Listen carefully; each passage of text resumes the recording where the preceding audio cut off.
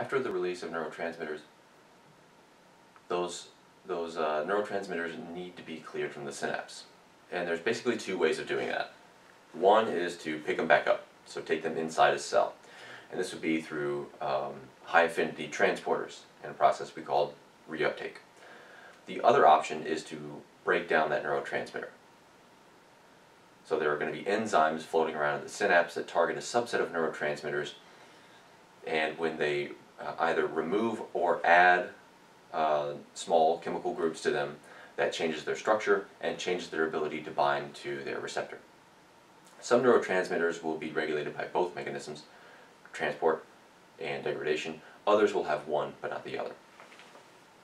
After release, neurotransmitters also help terminate their own uh, signaling through feedback by binding to autoreceptors. So uh, the presynaptic site that releases the neurotransmitter will have a way of sensing how much neurotransmitter is out there in the synapse. If neurotransmitter levels are high, that's going to inhibit further release of neurotransmitter through feedback inhibition. So this is a nice built-in uh, safety mechanism. Now, some neurotransmitters are going to be released in sort of unconventional methods. We're going to talk about two examples of that. That would be our endocannabinoids and nitric oxide. These are uh, going to pass freely through membranes, and therefore they can't be stored in vesicles. So they're synthesized on demand, and when they're made, they move freely through membranes and interact with their targets. Some transmitters aren't actually released from neurons. You'll notice I didn't call them neurotransmitters. We call these gliotransmitters because glia can release neuroactive substances to affect activity at the synapse uh, and, and of neurons themselves. so let's dive into it. So in the last lecture, we released neurotransmitters, uh, so we understand how that works. Now we need to terminate the signal. Because if neurotransmitters are left in the synapse for a prolonged period of time, they become noise and we get desensitization of that synapse.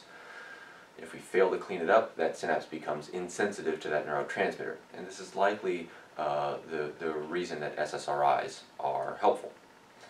Of course, over a long period of time.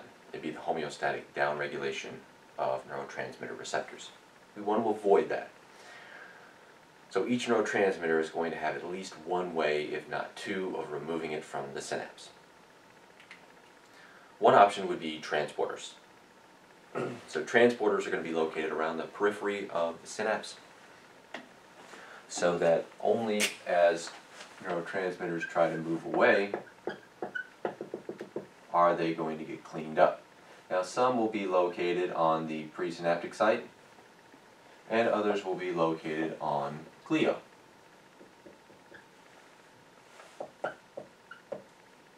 So these transporters going to remove the neurotransmitter and what they're going to do is ride along passive ion gradients. So they're going to transport other ions along to bias directional reuptake of the neurotransmitter. So the reason we call it reuptake is after release we take it back up.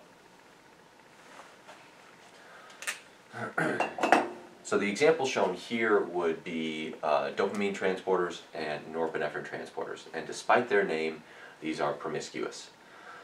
So they're going to transport any good old catecholamine. Uh, it, it, doesn't matter if you're a dopamine transporter, you'll pick up norepinephrine just fine. The norepinephrine transporter, despite its name, will still pick up dopamine. These are going to be the targets of a, of a variety of drugs. Cocaine and uh, amphetamine are well-known examples. Cocaine will inhibit dopamine transporters, and amphetamine will reverse dopamine transporters. Uh, this explains not only their effects, but also their highly addictive nature. Cocaine is a highly um, addictive drug, and we can see that here. You can also see that if you've ever uh, met a long-term cocaine user. But in rats, cocaine is also uh, addictive. So if you'll look in at these data, on top we're just looking at wild type. Um, uh, I, I, believe these are actually rats, uh, not mice.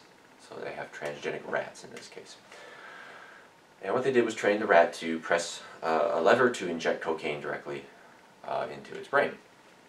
And of course, uh, this is a good thing to the rat, so they learn quickly to press that lever.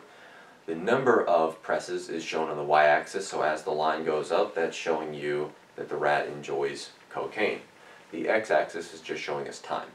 The bottom is in dopamine transporter knockouts. So after the dopamine transporter has been removed, these rodents still learn to press that lever and cocaine is still pretty good to them, even though they don't have dopamine transporters. And this is just showing us the promiscuous nature of these catecholamine transporters. Now there are of course serotonin transporters, uh, there are also glutamate and GABA transporters. We don't have acetylcholine transporters though, so that's the exception here. All other neurotransmitters are going to have transporters. So glutamate and GABA transporters uh, can be located on glia. So we encountered this already in lecture 5. So after release, glutamate or GABA can be picked up. They're going to be picked up either by excitatory amino acid transporters, if it's the excitatory amino acid glutamate, or by GABA transporters, if it's GABA. So this cartoon is showing you uh, the presence of excitatory amino acid transporters on both neurons and astrocytes. Here's some uh, immunogold labeling showing you the presence of uh, GABA transporters on that astrocyte perisynaptic process, shown kind of just above the symmetric synapse there. So it's symmetric, that means it's inhibitory. It should be using GABA if we're in the forebrain, and thus the presence of GABA transporters makes sense. And here's a cartoon showing that in case you prefer these. Now after we pick up either glutamate or GABA, we're going to recycle it into glutamine and send it back to the neuron, just like we did in lecture 5. All that stuff is still true, except when it's not. And we'll see an example of that at the end of this talk. Enzymatic degradation does not take place for glutamate GABA, or glycine. So those most commonly used neurotransmitters are not broken down. Instead, they are either taken up directly into neurons, or in the case of astrocytic uptake, let's say we'll pick up GABA, we'll convert that to glutamate, convert that to glutamine, and then spit that back out for neurons to take up.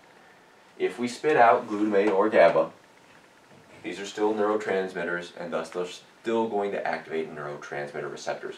We don't want to do that if we're simply recycling. That's why we must convert to glutamine.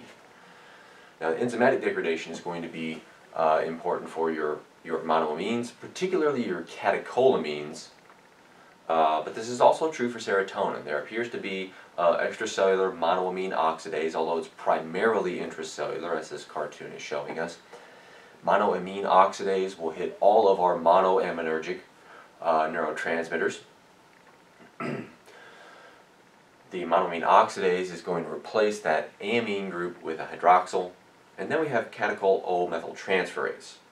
And that's just going to methylate the hydroxyl uh, group, the M-hydroxyl on the catechol group. So this won't take place for serotonin and so largely serotonin is going to be regulated by reuptake through serotonin uh, transporters.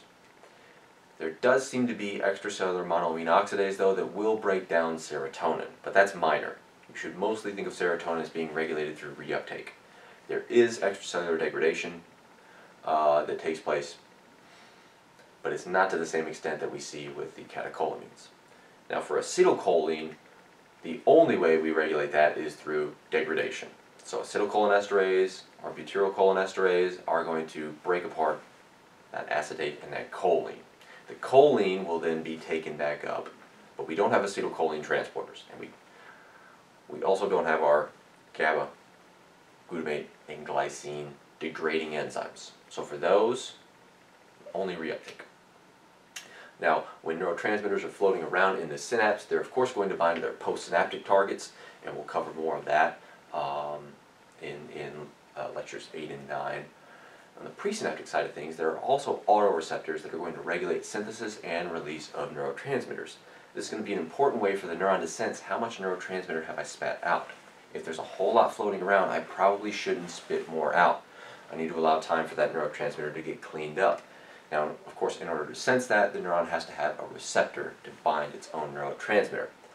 And if it's at the same synapse, we would call this an autoreceptor. If we're at a different synapse, let's say there's another presynaptic site over here, this neurotransmitter binding here, that would be auto. Another synapse, hetero. So autoreceptors and heteroreceptors are just found at presynaptic sites, and it just depends on which neurotransmitter binds to it. But they're the same thing.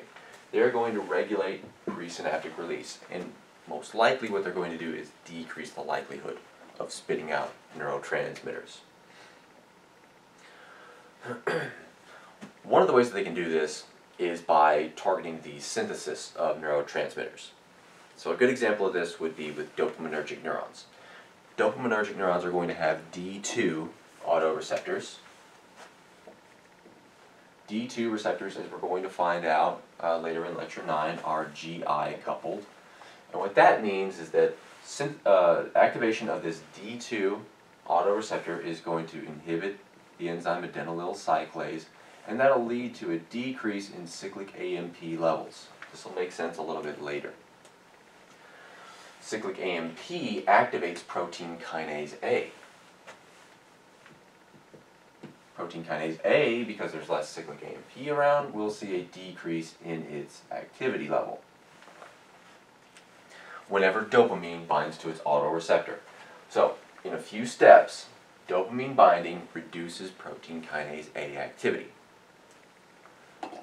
Now, not every dopamine receptor does this. There's also D1 dopamine receptors that have the opposite effect. They're GS coupled, so they stimulate adenylyl cyclase, increase cyclic AMP, and thus would increase protein kinase A.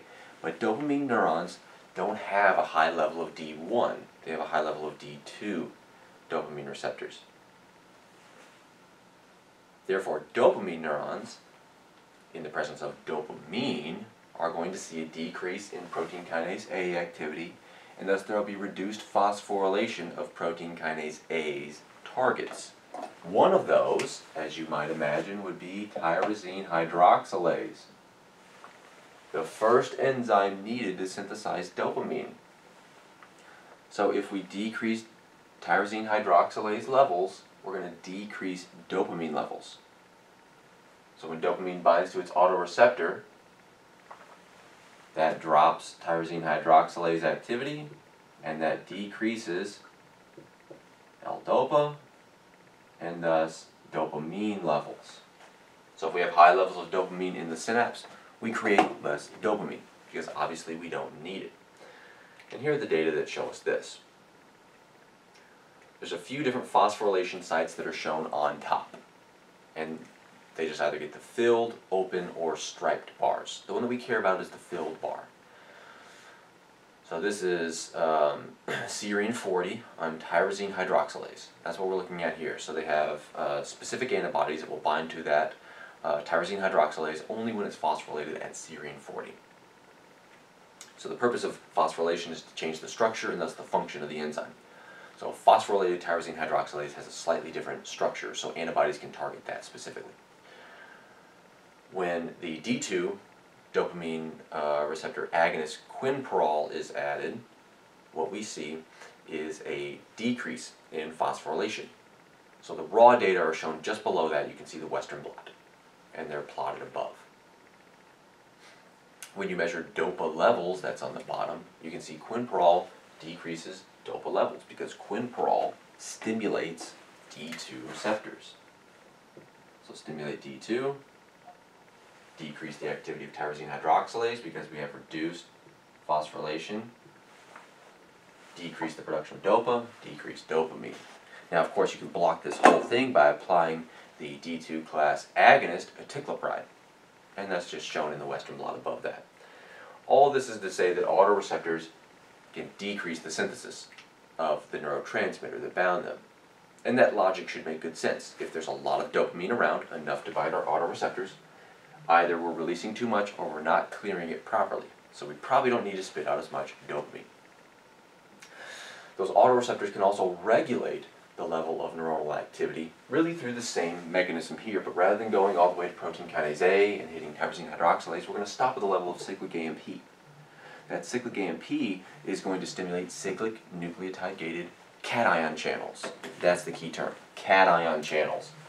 So that cyclic AMP is normally going to stimulate cation channels that depolarize the neuron. Again, decrease cyclic AMP levels, decrease cation conductance, and thus decrease depolarization. So what you should see is a decrease in their activity, and that's exactly what these data show us. Whether you apply straight up dopamine or quinpirole, the D2 agonist, you see basically the same thing. And that's a long-lived decrease in the excitability of those dopamine neurons.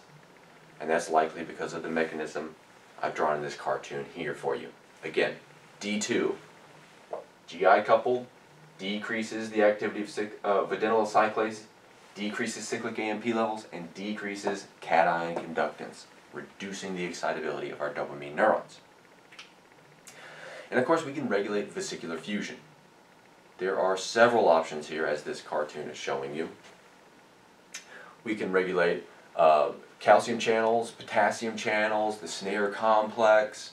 We have many options. And we can see either facilitation or uh, uh, inhib inhibition of presynaptic release. So we could, we could facilitate um, release by depolarizing the cell, either by inhibiting potassium conductances or perhaps opening up uh, or decreasing the conductance of calcium channels. Of course, depolarization or facilitation of calcium conductances will increase calcium levels and thus increase the likelihood of neurotransmitter release. On the other hand, those autoreceptors could also then inhibit the release of neurotransmitter either by uh, interfering with snare complex formation.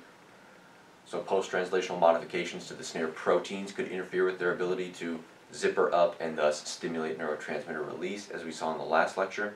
Or they can inhibit, inhibit voltage-gated calcium channels, decreasing uh, calcium conductance into the presynaptic site. If there's lower levels of calcium, there's a lower probability of release.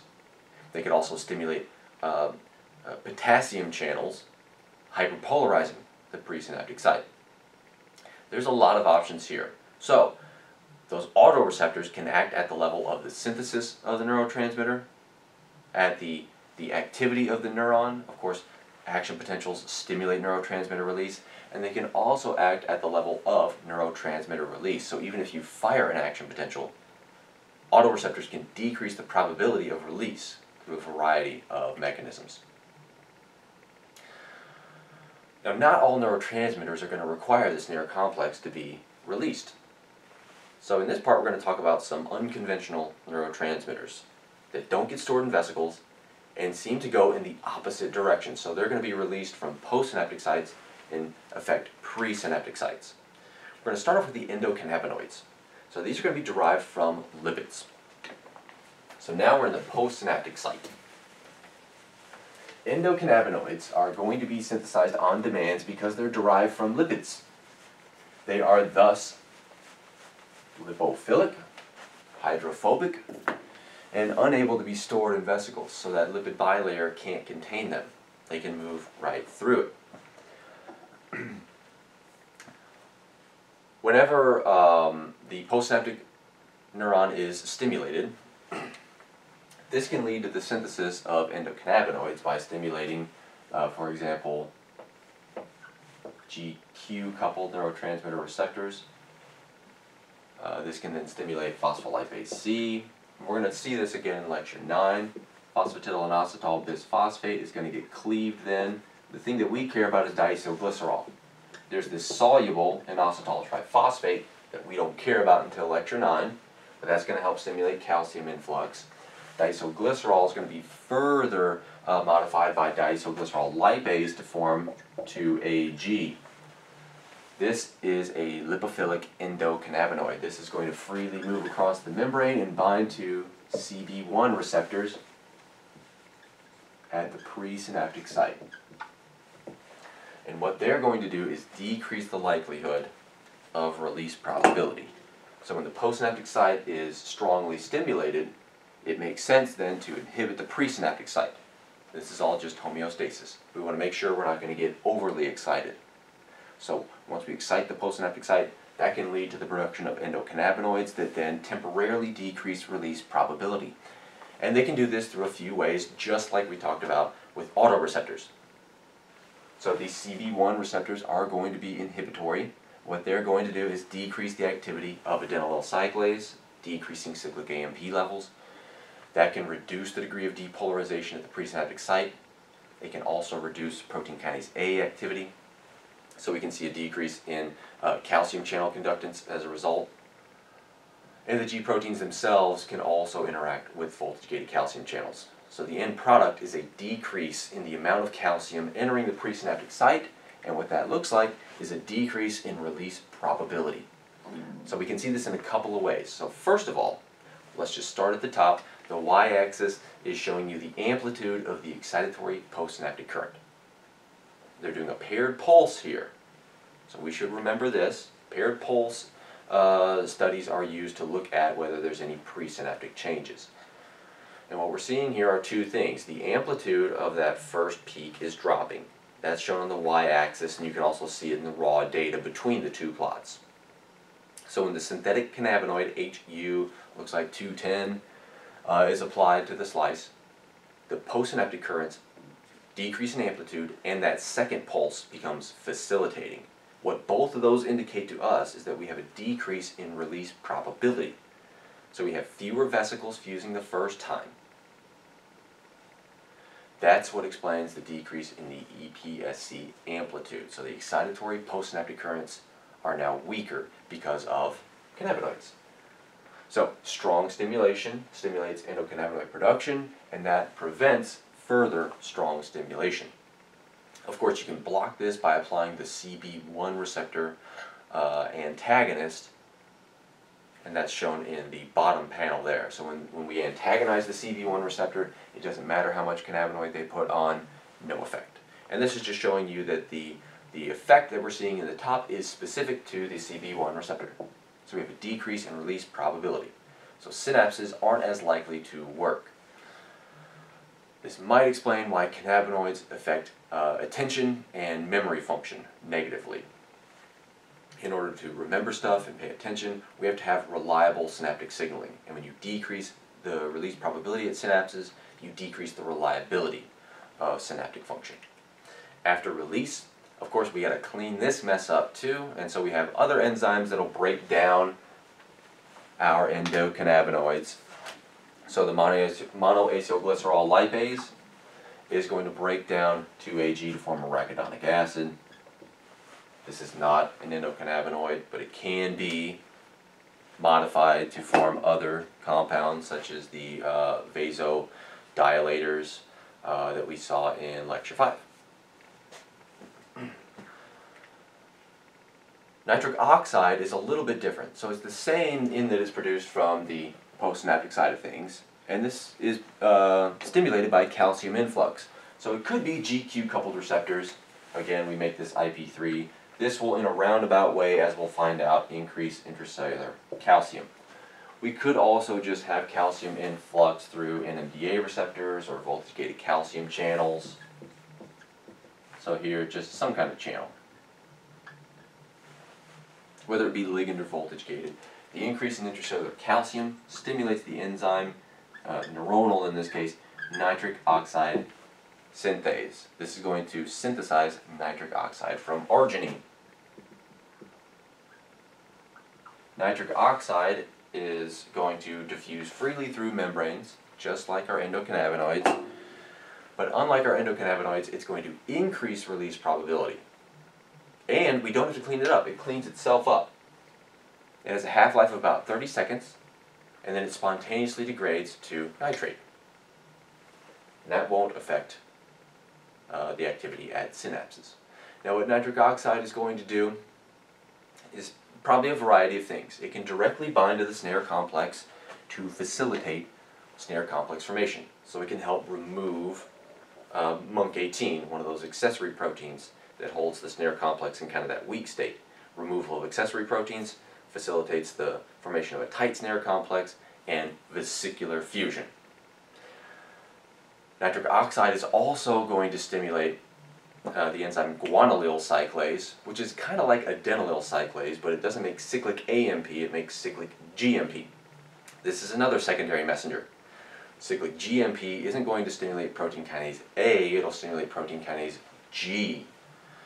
Protein kinase G is then going to phosphorylate a variety of things, and one of the things that can happen uh, as a result of nitric oxide signaling is an increase uh, in the activity of cyclic nucleotide gated cation channels and uh, uh, stimulation of voltage gated calcium channels, either because of depolarization or because of interactions with protein kinase G. So we see an increase in calcium uh, influx at the presynaptic site, so the polar opposite of endocannabinoids, and you see the opposite effect.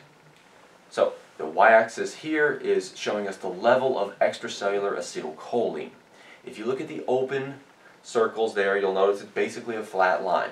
So when they don't apply any drugs, they have a fairly stable response. That's good to see because we don't see a stable response when we apply the nitric oxide synthase antagonist, NLA, right there at the beginning of the experiment. You'll notice acetylcholine levels drop. And that's because we've reduced the amount of nitric oxide that's being produced, and thus we've decreased release probability. If we don't release acetylcholine, we can't pick it up and measure it. On the other hand, a little bit later, they apply the nitric oxide donor SIN-1 there, and you'll notice we go from below normal to well above normal. So we increase release probability. Now this is uh, only going to occur while we have the nitric oxide donor around because remember nitric oxide is going to break down spontaneously so after removal of the drug we see the washout. We're moving back toward baseline. Now another class of unconventional transmitters would be the gliotransmitters that are released from astrocytes to re regulate the activity of neurons and uh, synapse strength. So astrocytes themselves uh, respond to neuronal activity because they have neurotransmitter receptors. Just like they did in lecture 5, they still have those. And different astrocytes from different brain regions appear to have kind of a different profile of neurotransmitter receptors. So in these data we can see the response of cerebellar and cortical astrocytes. Cerebellar astrocytes are shown in A, they're also plotted in part C, and cortical astrocytes are shown in part B, also plotted in part C. When they apply different neurotransmitters such as ATP, glutamate, and histamine, you can see variable responses. ATP is a fairly uh, commonly used gliotransmitter apparently because nearly every astrocyte responds to it. Glutamate is a lot more commonly used in the cortex, and that makes some good sense. The cerebellum is filled mostly with GABAergic synapses. And histamine is used less commonly. But you can see some astrocytes respond, and that's what C is showing us, is the percent of astrocytes that have responded. So what they did was use an optical sensor to look at calcium levels. Remember, Astrocytes don't fire action potentials. They have calcium waves.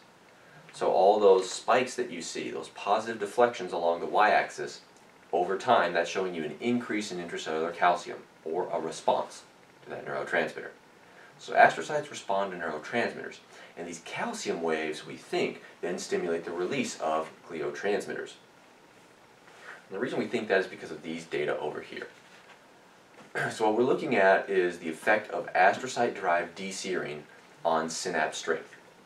And what we can see here is uh, that without calcium waves and the release of D-serine, we don't get LTP. And that's what they're doing in this experiment. They're stimulating long-term potentiation, which is how we think learning occurs at the cellular level.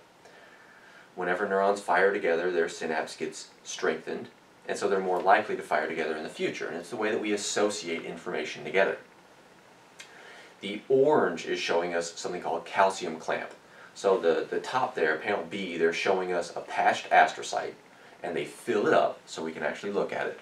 What they're also doing is filling that astrocyte with calcium chelators, so that the, the calcium that either flows into the astrocyte or out of intracellular stores gets buffered.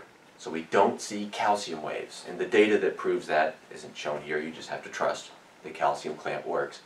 And when you have calcium clamp, you get a little bit of short-term facilitation with that tetanus. That's what the red arrow is showing us. But you don't see long-term potentiation. Just a little short-term uh, facilitation there at the synapse. But in order to get long-lived changes, you need the astrocyte to do something you need calcium waves in astrocytes. Now, with the calcium clamp present, if you apply D-serine, which is a gliotransmitter. Only astrocytes make this. Neurons won't make D-serine. So astrocytes make D-serine. They can bind to NMDA receptors. Spoiler alert uh, for lecture 10. D-serine stimulates NMDA receptors and allows long-term potentiation to occur, at least at this synapse. So astrocytes are critical for LTP, at least in some cases. Critical and sufficient for LTP, as long as you still have the tetanus. Now astrocytes can also just release straight up glutamate, or ATP, adenosine, GABA, kynurenic acid. So there's a variety of gliotransmitters they can release to stimulate a variety of neurotransmitter, or I guess in this case, gliotransmitter receptors on neurons. And these can be at pre or postsynaptic sites. They can either increase or decrease activity at the synapse. So the postsynaptic receptors, this may very well just lead to a little bit of depolarization. The presynaptic receptors, again, those can cause facilitation or inhibition of presynaptic release. The devil's in the details. The key factor here is that the gliotransmitter can also stimulate those receptors. So that the neurotransmitter, that ligand that binds to the receptor, doesn't actually have to be a neurotransmitter. It could be a gliotransmitter. And one nifty idea here is that astrocytes kind of set the tone for uh, neuronal activity. How active should a neuron be? And that depends on how much glutamate and GABA is floating around. How much excitation and how much inhibition is there, essentially. so the glutamate and GABA are, are essentially always released from astrocytes. That's the idea. There's tonic release, and that's going to determine the level of activity of, of the, the neurons there. So I, I pointed out the GABA, glutamate, glutamine cycle, but we don't always take uh, the, the neurotransmitter to glutamine. There can be release of glutamate or GABA, and these two uh, gliotransmitters, in this case, exist in equilibrium. Glutamate is used to create GABA. GABA can be used to create glutamate. So as the levels of one rise, so will the other. It's just basic chemistry. And we have transporters for both. And there can be reverse transport if the levels get high enough. So let's see what this might look like in the real world rather than a cartoon. So the idea is that if we have a lot of glutamate around, well we probably want to release some GABA to cancel out all that excitation. Again, it's homeostasis. You need the gas, you need the brake. So if we see a lot of gas around, there's a lot of glutamate, astrocytes are going to pick that up, turn it into GABA, and spit that GABA out to help regulate neuronal excitability so the neurons don't get hyperexcited. At least it looks like that in the dish. And we assume this happens in real life as well. If you look at these data, so look on the top, what they're looking for is radioactive GABA. And this can only be derived from the radioactive glutamate that they've applied. So normally neurons don't have radioactive stuff in them, and neither do astrocytes.